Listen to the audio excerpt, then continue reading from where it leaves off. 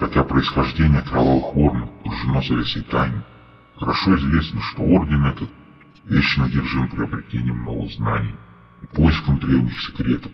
Возглавляемые могущественными библиариями, они сражаются с точностью и расчетливой яростью, предсказывая вражеские планы и расстраивая их до того, как те будут приведены в исполнение. И эти же достоинства способствовали рождению бесчисленного множества слухов. Кровавые вороны имеют длинную славную историю борьбы во имя императора.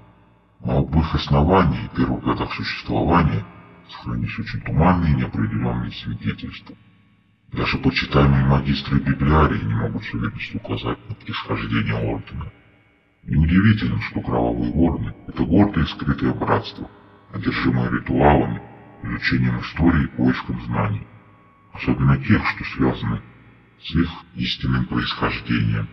Большинство записей отслеживает их прошлое лишь к 37 тысячелетию, хотя документы имперских организаций упоминают о кровавых орденах улетании их других орденов, доказывают, что они существовали и боролись с врагами императора за многие века до этого.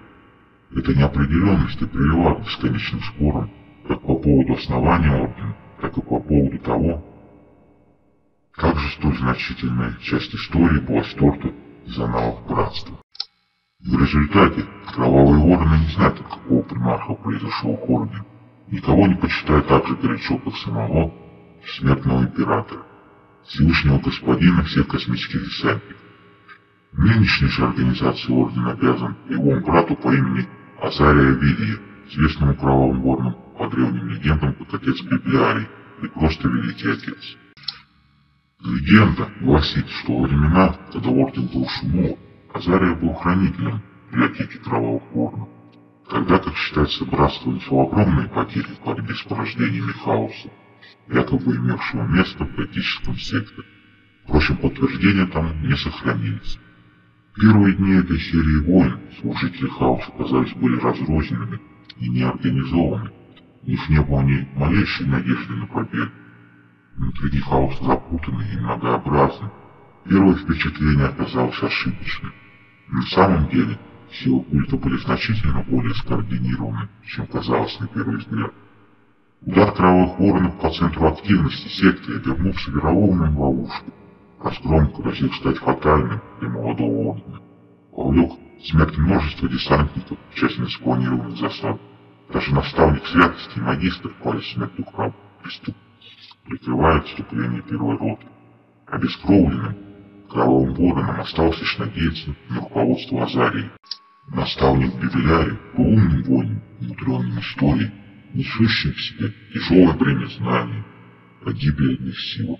Витовал он был высоловлен психической мощью невероятной силы. Месяцами он изучал вражеские передвижения, тактику и даже историю войны в попытке найти способ победить коварного неприятеля. Поддерживая видимость того, что кровавые вороны еще не оправились от поражения, он использовал своих воинов и союзников с имперской гвардии, чтобы прощупать противника следя за ответными действиями. Он желал узнать, как секта будет реагировать. Многим тогда казалось, что Вибриарий просто тратит время, что не подобает борцам с врагами Императора больше уповать на книги, нежели на стали отвагу. Наконец Азарий окончил свои гадания и наблюдения, объявив, что владеет секретом полной победы над врагом. Кровавые вороны провели массированное наступление, на первый взгляд запутанное и бесцельное, направленное на районы, где не проявлялась никакой вражеской активности. Но каждая цель атаки казалась ключевым узлом, в котором были организованы схроны, припасы, сконцентрированы войска хаоса, готовые для засад и наложения кощунственных идолов темных богов. Эти удары уничтожили армию хаоса, сверхъестественной проницательностью, легко сокрушая всякое сопротивление. Плающийся в лучах славы Азария объяснял, что ключ к этой победе лежал в исследовательском анализе неприятельских перемещений, но многие верили, что могучий псионик просто читал мысли врагов, добывая нужную информацию. После сокрушительного успеха первого наступления вся остальная компания была кроткой и кровавой. Силы Великого Разлада буквально таяли перед неостановимыми атаками кровавых воронов. В последние дни восстания инквизиционные отряды очищения обнаружили темные писания и отвратительных идолов, что указывали на участие в войне предательского Альфа-легиона. Впрочем, факт этот не удивил Азарию. После победы, как гласят легенды, Великий Отец увел свой орден прочь из готического сектора, дабы братство залечило раны, оплакало погибших и обдумало только что отгремевшие битвы.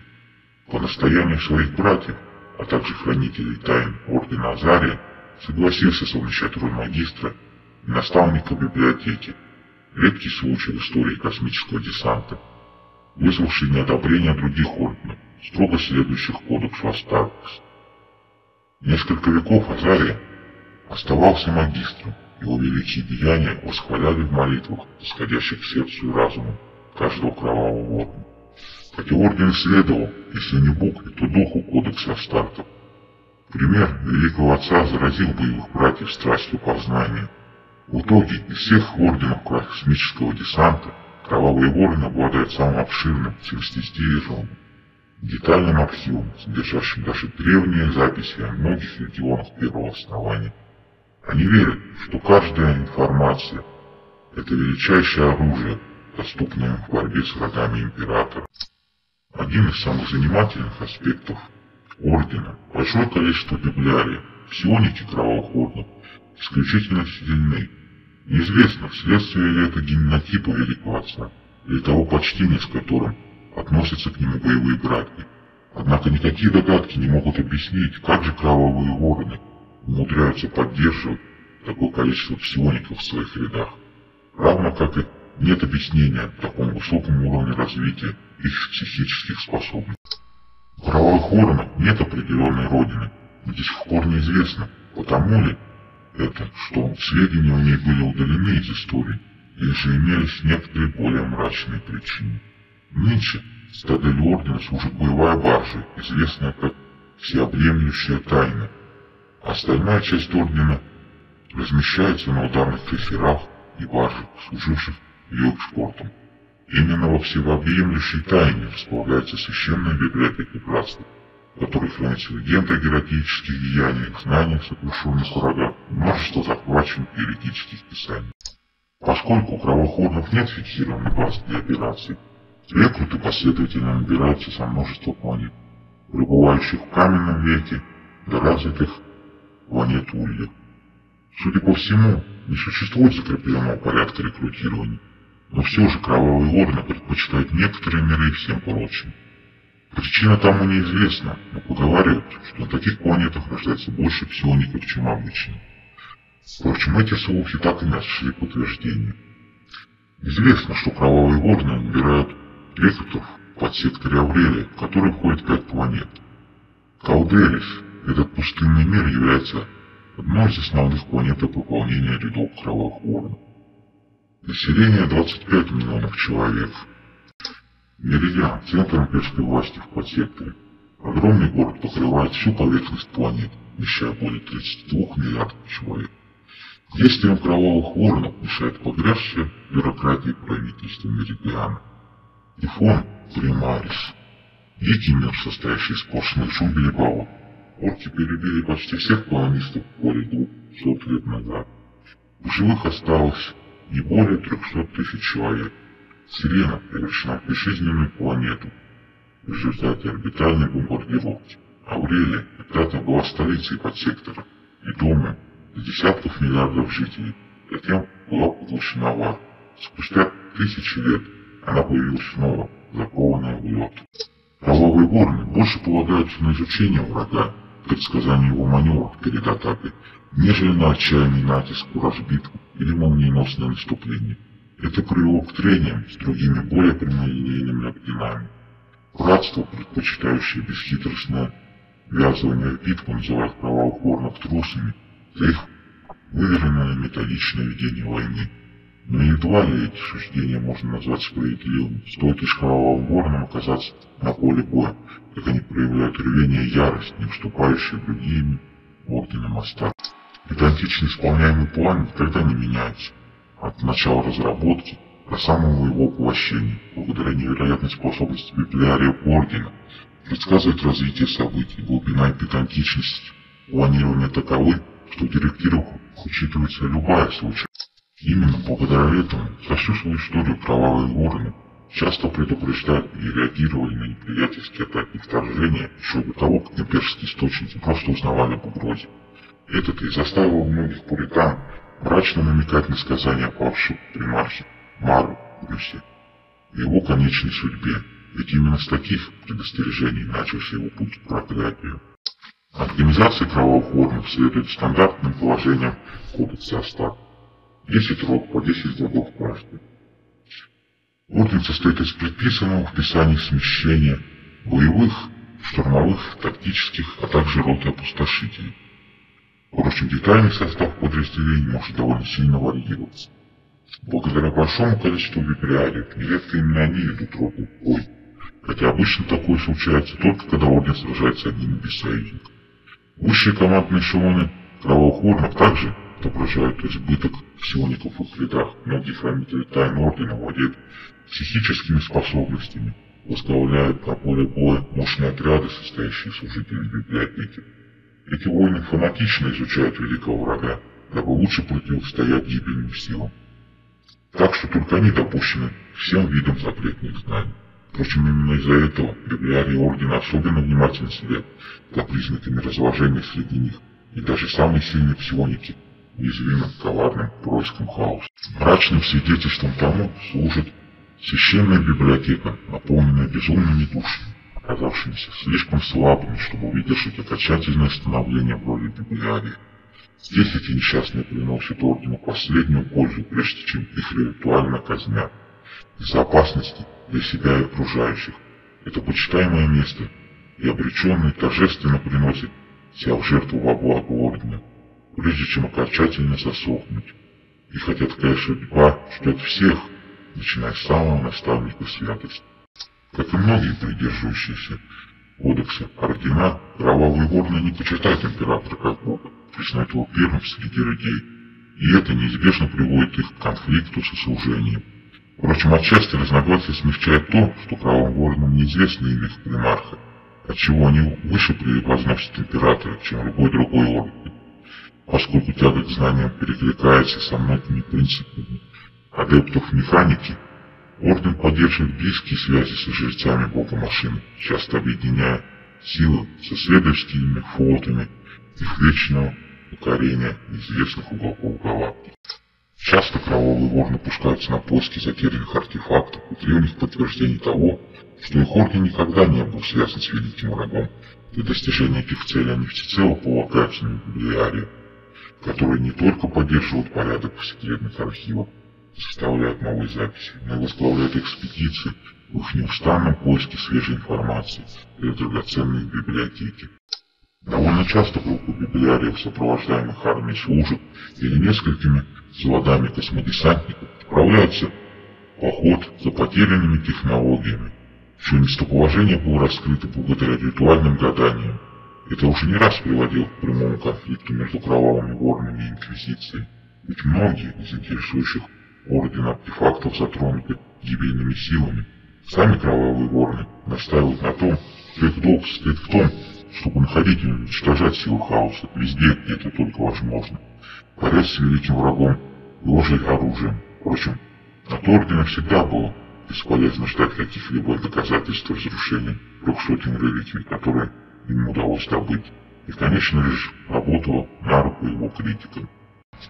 Путь становления космического десантника долг и труден, чреват опасностями, но это легкий путь по сравнению с теми трудностями, которые выпадают на долю кандидата, претендующему стать библиарием космического десанта. Смертельно опасные, вселяющие ужас испытания, служащие мерилом силы воли кандидата, его характер и способности быстро восстанавливать духовные силы. Непримерно сурово, дабы гарантировать, что он потенциальных библиариев достаточно сил, чтобы противостоять воздействию хаоса. Многочисленные сайкеры рода людского, чтобы противостоять подобным сущностям, подвергаются мучительному ритуалу заключения души. Но библиарии космического десанта должны быть достаточно сильны, чтобы противостоять этим ужасам без посторонней помощи. Потерпевший неудачу либо умирает страшных муках во время испытания, либо незамедлительно подвергается казни как потенциальный проводник для существ варпа. Среди кандидатов находятся и те, кто, потерпев неудачу, теряют рассудок, а в некоторых случаях даже человеческий облик. Этих несчастных сковывают цепями по рукам и ногам, уводят закрытое и уединенное место, Аомис Анкарум, известно как башня. Их изучают библиарии ордена, стремясь постичь, почему тот или иной кандидат потерпел неудачу, и как они могли бы укрепить свой разум, чтобы улучшить выживание в этих испытаниях. Это ужасное место, эхом разносящееся вопли безумцев, избегаемое всеми, кроме тех, кто должен бросить вызов судьбе и попытаться стать на путь библиария. Геноход кровавых органов довольно стабилен, многочисленность псиоников ведет к тому, что их образцы ДНК проявляются чаще, чем это происходит с обычными орденами. Впрочем, до сих пор не было выявлено никаких признаков мутации, равно как и доказательств того, что генокод кровавых становится причиной такой большой доли псиоников среди десантников, а также источником особых способностей братства. До сих пор не затихают слухи о том, от какого же ордена основателя пришло семя кровавых воронов. Под подозрением кровавой ангелы, стражи ворон, но это предположение, скорее всего, построено на схожести названий. Некоторые настраивают, что кровавые вороны могут быть теми, кто произошел от темных ангелов. Но по сей день нет ни одного факта, который бы указывал на истинный источник генетического материала. Отсутствие упоминания происхождения ордена может указывать на то, что орден был создан в древности под страхом некой угрозы империи, которая уже давно миновала или была побеждена. История своего происхождения вот та малость, которой не хватает кровавым воронам.